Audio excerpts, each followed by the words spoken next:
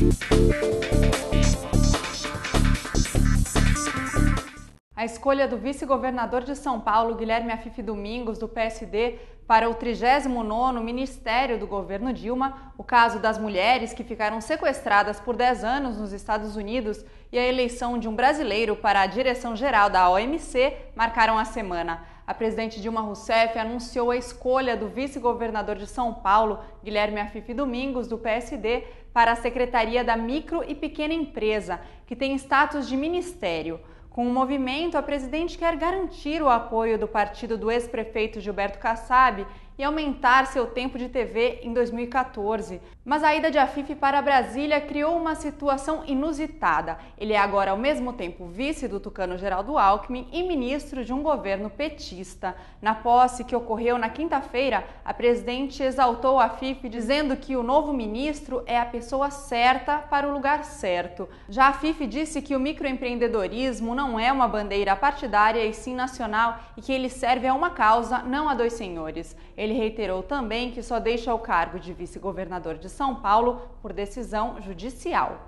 E nesta terça-feira, o diplomata Roberto Azevedo foi eleito para a direção-geral da Organização Mundial do Comércio, a OMC, graças ao apoio decisivo dos países emergentes. Azevedo deve indicar a China para uma das quatro vice-diretorias da entidade. As outras vagas devem ficar com a África, de onde veio mais de um terço dos votos, Estados Unidos e Europa, que não votaram nele, mas também não bloquearam o nome. Este é o cargo mais alto já ocupado por um brasileiro na diplomacia mundial. Azevedo assume no dia 1 de setembro para um mandato de quatro anos.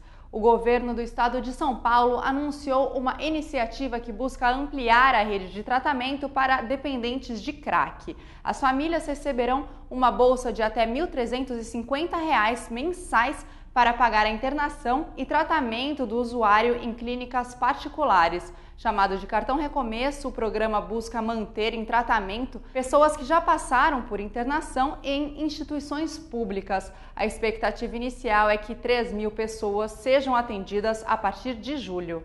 E nos Estados Unidos, o drama de três mulheres que estavam desaparecidas há cerca de 10 anos chocou o país. Elas foram localizadas e libertadas na segunda-feira à noite de um cativeiro numa vizinhança pobre a 4 quilômetros do centro de Cleveland, no estado de Ohio. Amanda Berry, Michelle Knight e Georgina de Jesus foram capturadas quando eram adolescentes e, da mesma maneira, elas pegaram uma carona com o motorista de ônibus escolar Ariel Castro, de 52 anos, que era conhecido na vizinhança.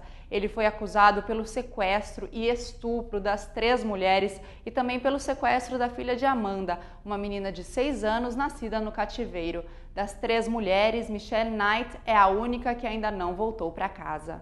E a agenda do Papa Francisco no Rio foi divulgada nesta semana. Além dos compromissos oficiais da Jornada Mundial da Juventude entre os dias 23 e 28 de julho, o Papa terá um encontro com cinco adolescentes infratores de instituições do Estado e ouvirá dependentes químicos. Ele também visitará uma favela pacificada. Em vez de comunidades acostumadas a receber muitos turistas, como Vidigal, Dona Marta, Chapéu Mangueira e Cantagalo, o Papa escolheu a Varginha, no Complexo de Manguinhos, na zona norte da cidade. Um ótimo fim de semana para você e até a semana que vem.